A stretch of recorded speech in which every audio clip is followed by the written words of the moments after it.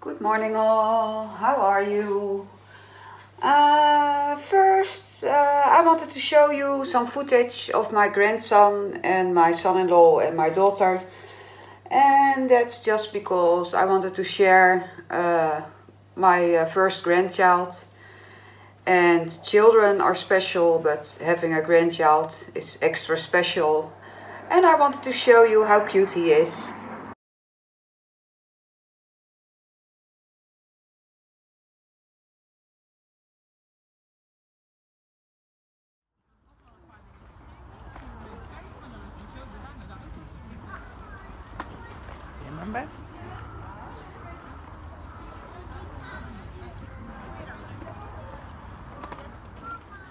Okay, uh, today I thought I will try um, the satin enamels to uh, create a cloudy effect in a sink strainer.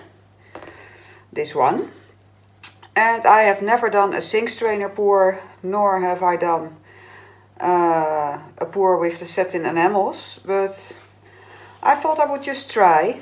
Um, I have a couple of colors and the colors are from Arteza and they are very warm colors. It's an orange red, it's a Bordeaux red, a crimson red, a carmine red, a rose madder and a corchin, uh, sorry, a cochineal red. And that are all leftover colors from Rob's pour earlier, when he, where he made uh, well, the tribal-like uh, painting. And I have also added one a bit of uh, gold, so it will be a very warm color. Um, I have done something else with uh, the enamel, satin enamel, than MelyD does. Because I don't like to use water, because I'm afraid it will crack. Um, I have put down uh, a, ba a, base of white, just normal acrylic paint. And then I've put in about 30% uh, satin enamel. And then a little bit of my pouring medium, the Deco Varnish. It's just a matte craft varnish and it works really great as pouring medium. And we have new in the Netherlands uh, it's from a store called Action. And that's a pouring medium. It's new. It's very liquid. I don't know if you can hear it, but it's as liquid as water. And it's used as a pouring medium. You could use it as a 50-50, but I have used it as a water to tin the paint. And I'm not even sure if it's thin enough, but I think so. And maybe the satin enamels won't work because I did not use water. But I hope it will, of course, but we'll see. It will be an experiment. And look what I found in a second-hand store. A little thing you can put your cups in. Very handy. I was happy with that. okay, um, what will I do? I think I will fill a cup with a dirty pour and then just uh, do a, how do you call that, three ring pour in the sink strainer. Um, I have to find a cup. Just a minute.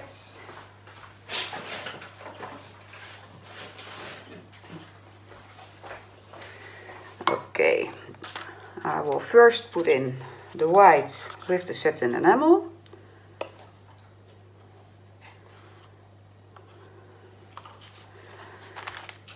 Let me see. This is kind of a purple color. And this is I think the rose red kind of pink.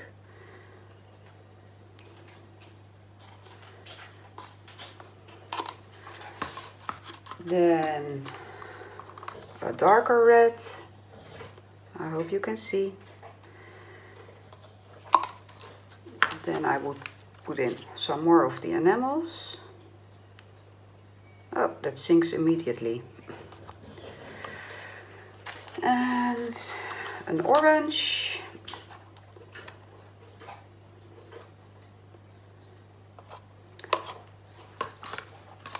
Another pinkish, purplish color. Yeah, because uh, I, I mixed this earlier for Rob. I'm not sure which is what. Uh, the gold.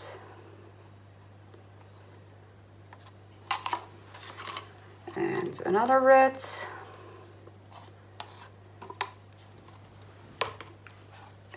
And some more of the satin enamel mix. And a little bit of that purple color. Very pretty. I guess this will be enough. I will show you the cup. Very pretty. I will lay this down. And well, there we go guys. I am holding this down because I'm not sure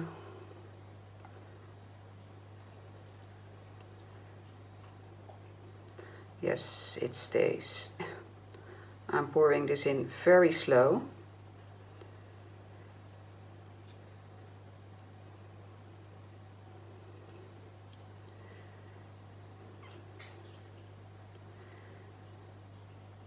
That sink strainer pours always look so pretty when you're just pouring.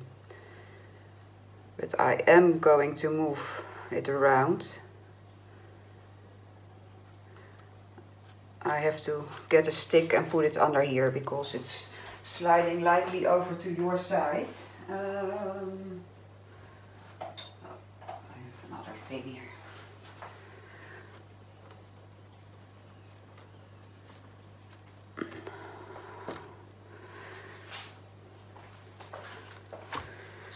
And then we will continue.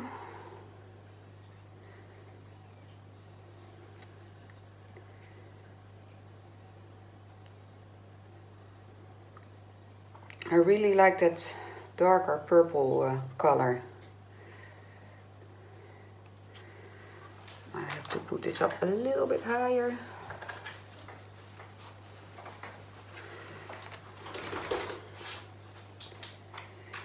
I can see the satin enamels are doing what they are supposed to do in the middle. And I really hope that it won't crack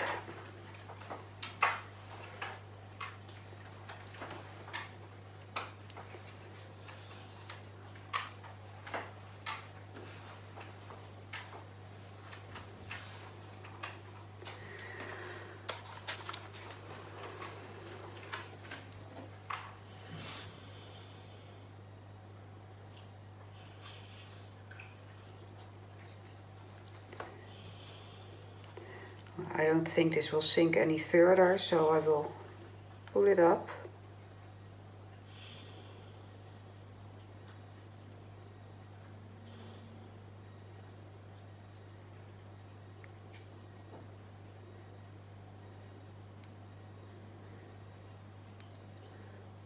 This is really pretty.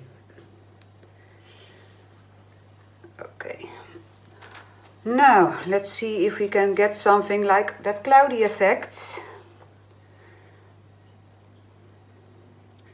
So I'm going to tilt it and see if we can get anything beautiful out of this.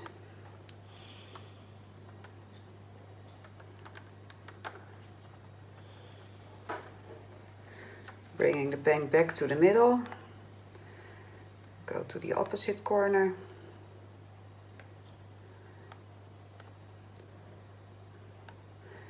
So it was not my intention to create a flower of, or anything with the sink strainer. I just wanted to see if it makes a, maybe a different cloudy effect or something.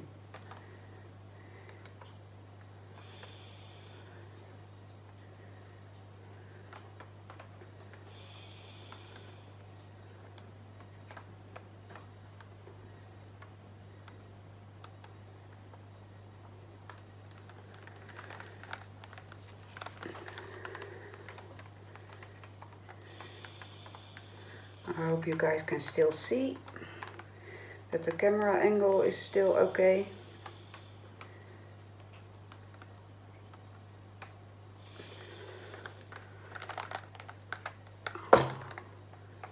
Going over the edge and bring the paint back to the middle. I really love that pink and red colors. But what I'm going to do is do a, a straight pour in the middle because I don't like this very much. Um, I will use the same cup. I will just fill it up with a couple of warm colors. I'm sorry, I cannot do that in front of you. I've put a dark pink, an orange, the gold, and the dark, yeah, dark red, dark purple, I don't know, very pretty. Bordeaux red is it, is, I think. And a little bit of the satin enamel again.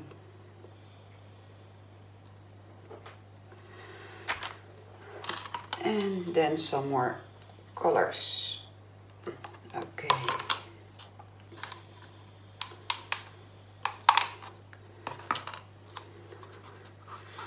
Here we go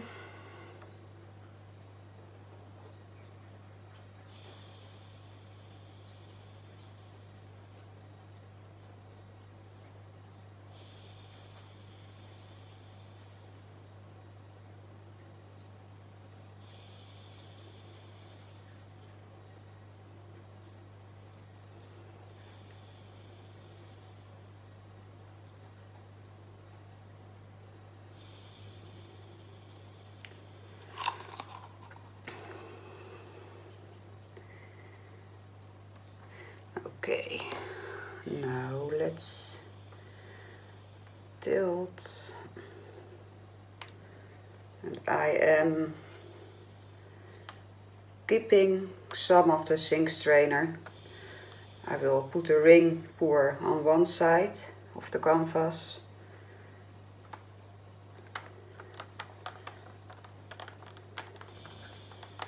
And keep some of the pattern of the sink strainer pour. Uh, I will turn this around so you can see.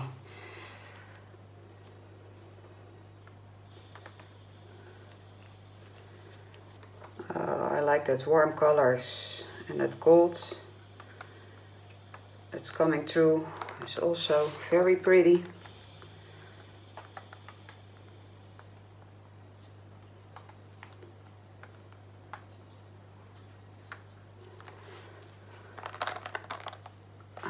Sorry guys, I must be out of focus here.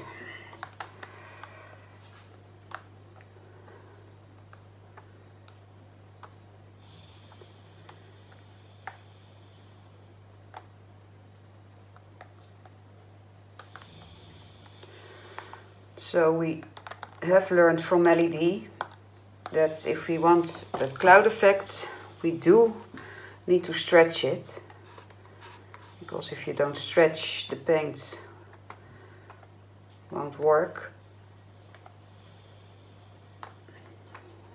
I hope I'm still in focus. Okay guys. What do you think? I will uh, I cannot see where to put my canvas. I guess here I will get my torch, torch it a little bit and then we'll wait for about 30 minutes and then I'll be back and see if the enamel did its job. And I hope so because of course I did not use water so maybe this doesn't work at all. But I think it will by the looks of it. I don't know, should I stretch it some more? Yes. I'm sorry, I'm going to stretch it a little bit.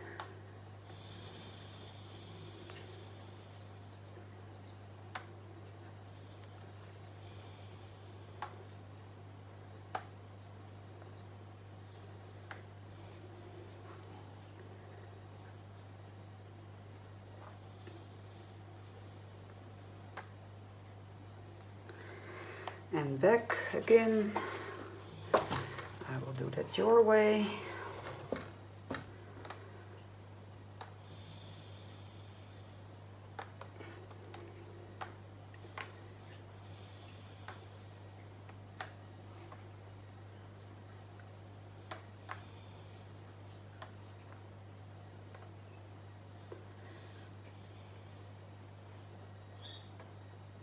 and over the edge okay. Just going back to the middle a little bit now.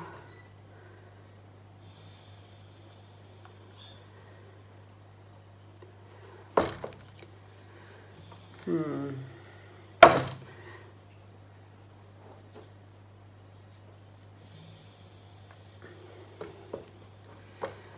I think I'm going to do a little pour just there because I don't like this part. Putting in some more pink and orange and gold.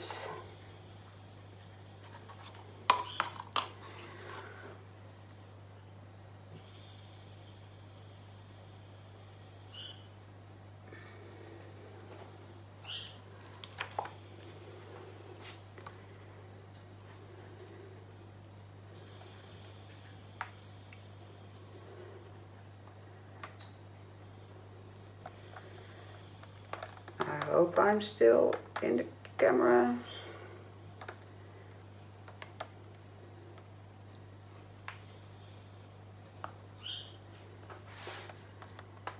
Yes, now I think it has a point of interest. Okay. Let me get my torch. Where is it? It's here.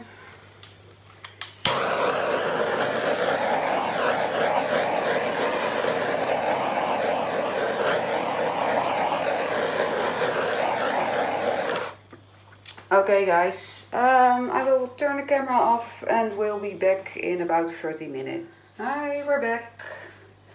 Well, as you can see, it didn't change a whole lot and I don't think it looks like the cloudy effect. And although I like the colors very much, I really don't care too much for this painting. So I decided uh, to do another one because I have some leftover paints and I'm just going to do a three ring pour and let's see if that will do the trick. And if not, then obviously you need water to do a cloudy pour. Another canvas. Let me see. Yes, you can see it okay. I will use a little bit more of the white with the enamels this time. I'll pour that in first. And then I will just use all the colors I had for leftover. There's not really much in it anymore.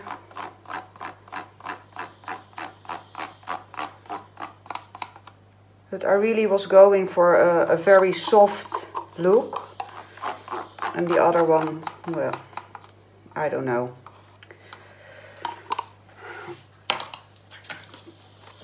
I will just use up all the colors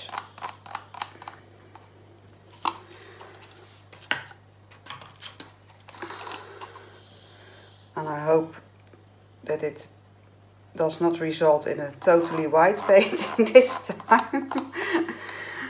we'll see.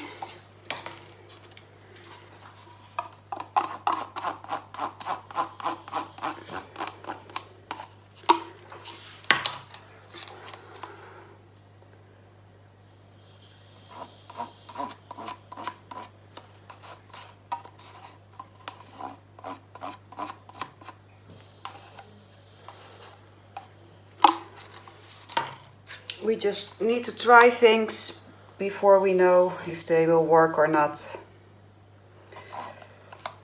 And that's also the fun of acrylic pouring. that we try out new things, new recipes.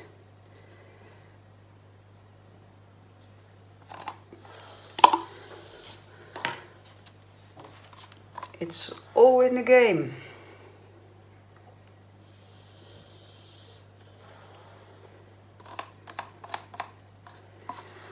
Okay, so now I have a lot of white and only a very little color palette. I'm trying to scrape off a little bit that I have left.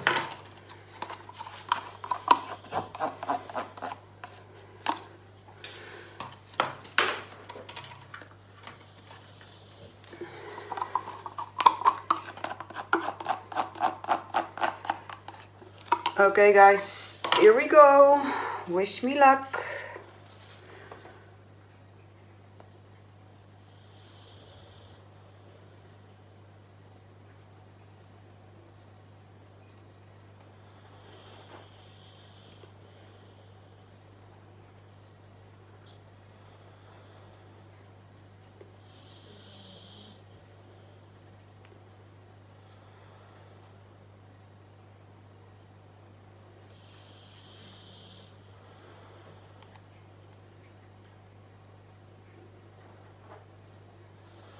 Maybe it was not that smart to put all that white in the bottom but we'll see.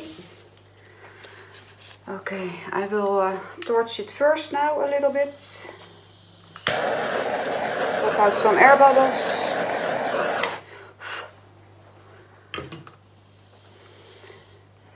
And let's go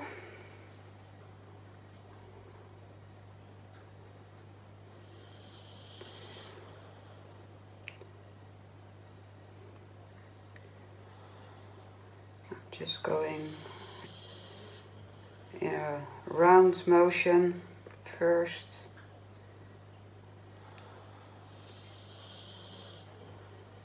I think this looks better already for what I had in my mind because I really wanted to go for a soft look with that warm colors.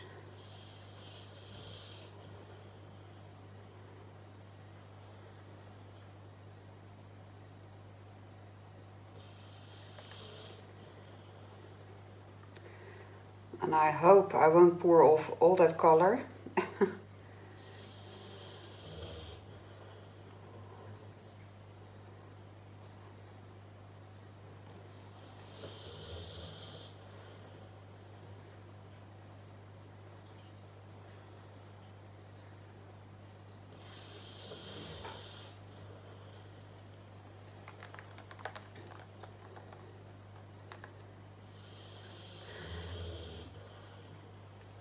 try to reach that corner and then go back. And so hopefully some of that colors will come back that way. Just over and back.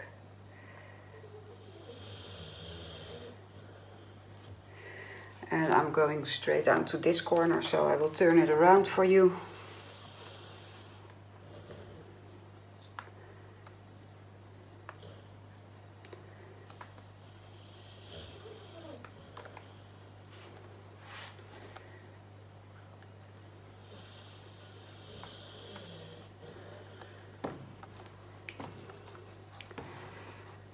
and try to cover that corner but still keep a little bit of that colors.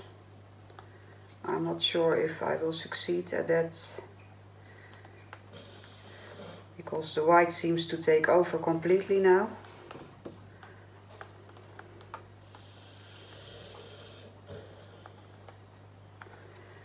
But I will just try to reach that edge and then come back to my own side.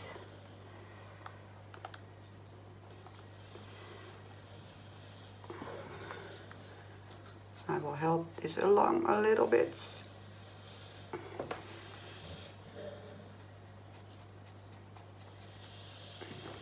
Okay, and then go back to you. But this is actually, this was the way that I wanted my painting to look and create a very soft look. I still don't know if this looks like the cloudy effect, but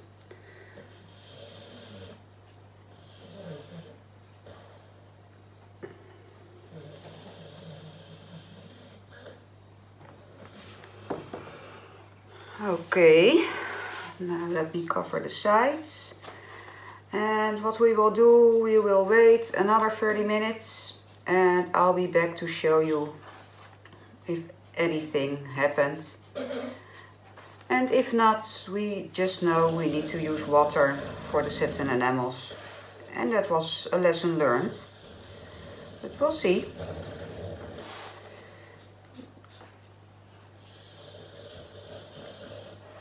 I'm just happy to try these kind of things for you. So you don't have to waste any paint. I'll do that for you. happy to do that. But I really love this soft look.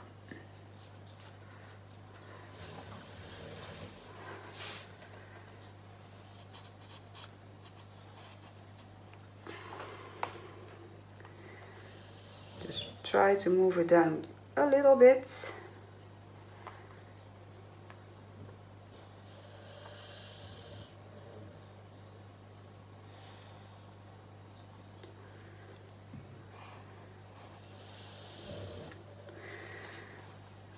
Okay guys, I will just leave it here and we'll be back in 30 minutes. Okay, we're back. Well, as you can see, nothing much happened. It's cute, it's pink, but that's it. I guess uh, it would have looked the same way if I did not have used enamels. So I will definitely try the satin enamels again, but then I will just mix it uh, like MelyD does. And well, this was it. I will uh, show you uh, a close-up but I really don't care too much for this painting, so I guess I will be doing a dot painting or a mandala or something like that over it. I like to thank you for watching. Don't forget to subscribe and give me a thumb up if you like this tutorial about how not to use satin enamels. okay guys, see you later. So here we are. I'm going a little bit closer. As you can see there are all kinds of little specks in it. Maybe that was just from uh, air bubbles.